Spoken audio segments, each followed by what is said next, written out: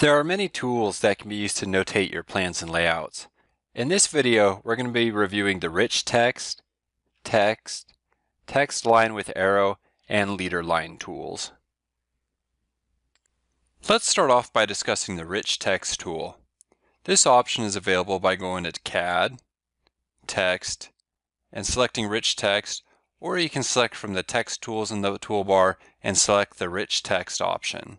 To apply rich text, you can either click once or click and drag to apply rich text in a specific area.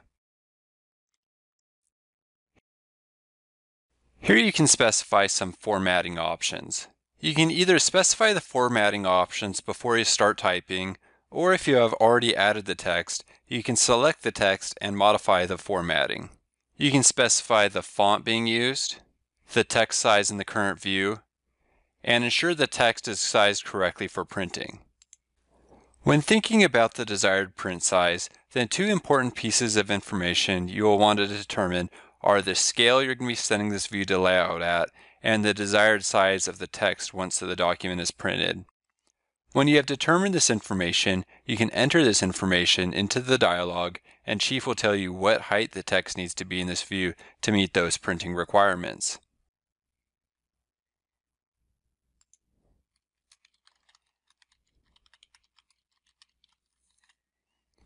Next, there are other options you can change, such as the text color, bolding the text, italicizing it, underlining it, applying a strike through, and turning on caps locks. You can also specify to have the text aligned to the left, center, or the right. There are also paragraph options, which can be used to configure the alignment, and these are the same alignment options you see in the toolbar. You can also specify the line spacing, the margins as measured in inches from the edges of the text box, and bullet options. When specifying bullet options, you want to start bullets on the line that the first bullet point begins. I'm going to cancel out of this, specify that I do not want to bold or underline any more text that I want to add, and I'm going to press enter. Specify that my alignment is to the left, and now specify bullet options.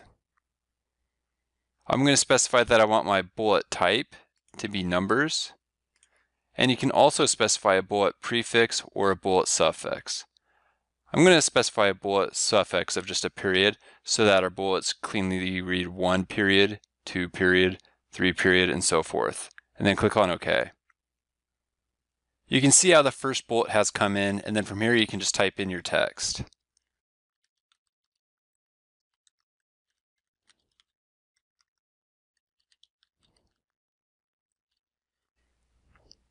Up in the rich text specification, there's also a spell checker option here that you can use to see words that are misspelled.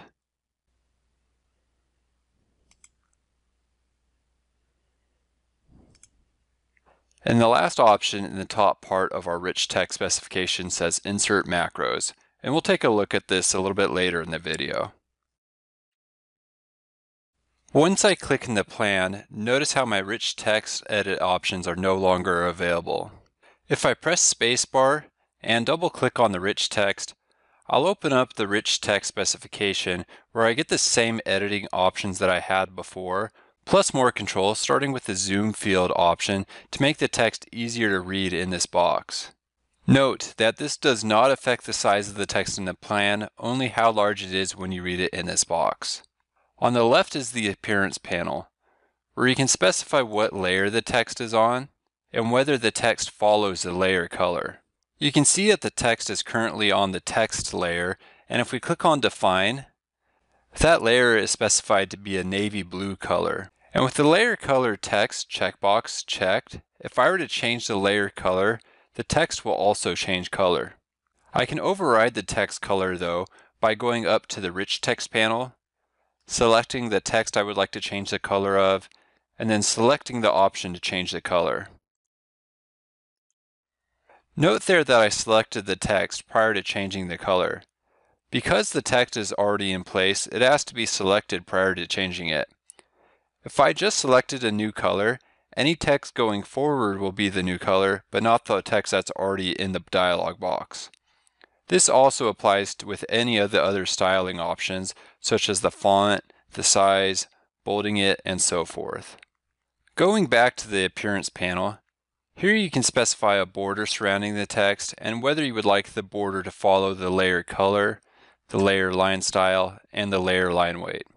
Next, you can specify the text to have a fill using either a custom color, the layer color, or to follow Chief's background color. And the background color can be specified in your preferences under the Colors panel. And you can specify the margins, which is the distance between the text and the border around it. Next is the Options panel. Here you can check the box for add an arrow and Chief will place an arrow going from the side of the rich text box which can then be attached to an object. And we will look at this in more detail later in the video. Next is this checkbox that says rotate with plan. When this is checked, if we go to tools and then rotate plan view and rotate the plan view, then our text box will also rotate with the plan view. Let's bring the rotation back to zero degrees. Opening up the rich text specification again and go into the options panel. You can also control the X and Y positions relative to the origin and the angle of just this text box. Under size, you can adjust the entire size of the text box. Notice how currently the text box is expanded quite a ways from the text. When auto height and auto width are checked, the size of the text box auto adjusts to match the size of the text contents. Opening up the rich text specification again and go into the options panel. When CAD style font sizing is checked, the text size is based on the total height of the capital letter A. Unchecking this instead will size the text according to the information stored with the font, and you will almost always want to leave this option checked. Under Drawing Group, you can change the drawing group the rich text is affiliated with, which influences whether it displays in front of or behind other objects occupying the same space in the plan. And lastly, there are bumping options. When these options are checked, if you select the text box and move it, it will bump and stop at CAD objects or wall objects. Let's take a look at how this works. So I'm going to check both these options and click on OK. And then I'm going to go up to my CAD tools. And with the rectangular polyline tool selected, I'm just going to click and drag a CAD object. And then I'm also going to go to my wall tool, select straight exterior wall, and then just quickly draw four walls. And then I'm going to press spacebar, and you'll notice the living area there's for the four walls we just drew. But what I'm going to do is I'm going to select this text object, and then as I drag it, notice that how when I drag it into the wall, it bumps there. Same thing with our CAD polyline down here. As I drag my text box to it, it bumps up against it. And you can always override this by holding control on your keyboard.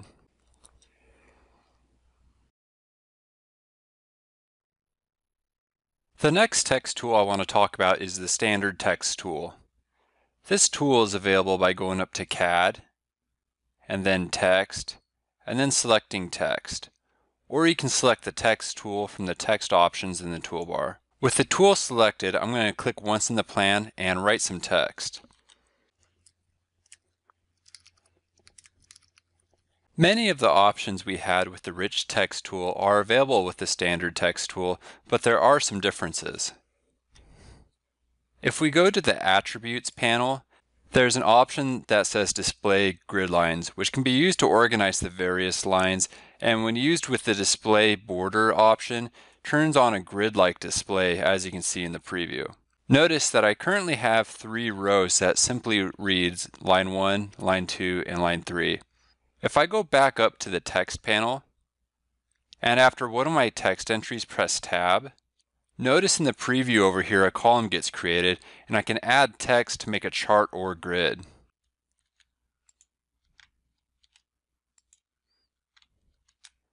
If we go back to the attributes panel, notice there's an option here that says tab stops. This is where you can specify the number of spaces from the left-hand edge of the text box where each new column begins. For example, if I come up to the tab stops and type in the value 10, Chief is going to ensure that this column is at least 10 spaces from the left-hand edge of the text box. If we go up to the text panel and then add another column, you can see how that looks in the preview. And then if we go back to the attributes panel and then go to the tab stops, press space, and then enter in another value, Chief is going to ensure that our next column starts at least that many spaces from the left-hand edge of the text box. You can then continue using this method for creating an organized custom grid for your text. Another thing you can do with text is add a hyperlink. If I go to the link panel, here we can type in a hyperlink. And then if we click on OK, with our text selected. In the bottom toolbar, there's going to be an option that says follow hyperlink that when clicked will direct you to the hyperlink's address. However, once your plan or layout is exported from Chief, such as to a PDF file, the hyperlink no longer follows the text. If we double click on the text again to open up a specification, there's also this panel that says line style, which has the same options as the rich text for indicating the line options, bumping, and the drawing group. And then the next panel says fill style. And the text tool has more advanced options for customizing the fill style than the rich text tool. And lastly, there's a panel here that says text style, where you can see the source information for how this text is initially displayed when it's added to the plan. You can see that I'm using a pre-made text style, but you can change the text to use the layer information text style or create a custom text style. Text styles and text defaults are powerful tools for adding text in your plan.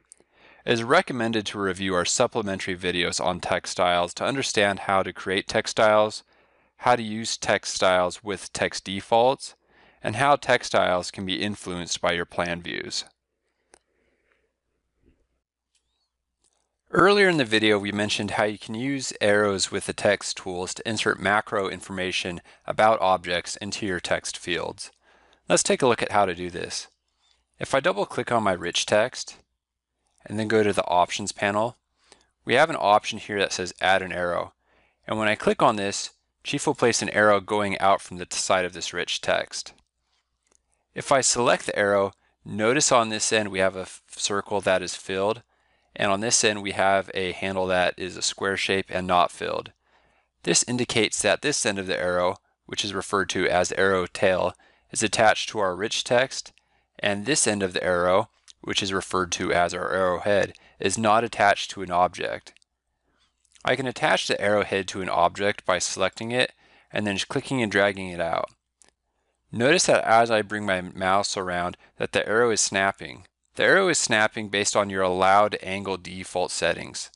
You can view these by going to your default settings and then selecting your plan settings. And you can always hold control to temporarily override the snapping. Now that I have the arrow attached to the cabinet, notice that that handles a red filled circle. To insert macros about this cabinet into our text field, double click on the text field, select in the text you would like to insert the macro, and then if you go to the macros option towards the right hand side, You'll notice that there's this option for referenced object, which is picking up information about this cabinet. The referenced object information will change depending on what type of object you have the arrow attached tool. But in this case, for the simple example of a cabinet, let's go ahead and choose to display the cabinet width in our rich text. And then I'm going to add the inches symbol after the macro and then click on OK. And there you can see our text is updated with the cabinet width. And if I select the cabinet and resize it, that macro dynamically updates with the cabinet. If I select this arrow and delete it, notice that our text is no longer displaying the cabinet width since we don't have an object that it's attached to. If I go up to my text tools, there's an option here that says text line with arrow, which allows us to draw a arrow from the rich text to an object. This tool gives you a little bit more control over the arrow's position on the rich text box. So with this tool selected, I'm going to select where I want to place it on the rich text box and then just drag it over to the cabinet. And you can see that we now have that macro again. Additionally, you can use the text line with arrow tool to make custom leader lines. If I select the text line with arrow and delete it, and then make sure I have the tool selected, and then come over to our rich text box and click and drag one arrow out and release my mouse, I can then attach a second arrow onto our first arrow by clicking and dragging from it over to the desired object. Alternatively, there's a dedicated leader line tool, which may be a quicker way to add text with a leader line. To use this tool, go over to your text tools and select the leader line. And then you want to start the arrow on the object you would like it pointing to, and then click and pull your mouse away. And then when you're ready to draw your second arrow, release your mouse, and then just drag it out. And then when you're ready to add your text, just click once and add your text. If I double click on the arrow and go to line style, you have many of those same options we reviewed earlier for changing the layer and coloring information, bumping, the drawing group, but you also have options to show the length of the arrow and show the angle of the arrow in your plan views. If I double click on the arrow, I'm going to go ahead and uncheck the show length and show angle options. But if I go to the arrow panel, next you can choose the style for, that you want to be using for the arrowhead, the color of it, the size of it, and whether you would like it on both ends of the line. Next, there's checkboxes that say attach tail to other objects and attach head to other objects. What this means is you can attach the tail of an arrow to a text box and the head of the arrow to an object in order to insert macros into the text box. Additionally, with these options checked, when the object is moved, the arrow will remain attached to both the object and the text box. Let's go ahead and click on OK. And let's go ahead and delete this text. And if I select on the cabinet and move it around, you'll notice that the arrow remains attached to this object. If I double click on this arrow to open it up, the last options I want to review are these options that say auto position tail and notice that the tail is currently on the right hand side of our text box and auto position head. Note here that auto position tail is checked and when I click on OK, watch what happens to the arrow tail's position when I select the cabinet and swing it to the other side of the, my screen. The tail's position has updated and it's now on the left hand side of the text box instead of the right hand side. Chief is going to auto position the tail of the arrow to the other side of the text box just to make it a little bit easier and cleaner to read so it's not cutting through our text. And that's going to conclude this video. To maximize your productivity when using the text and arrow tools, it is recommended to review our supplementary training videos on text styles, text defaults, and plan views.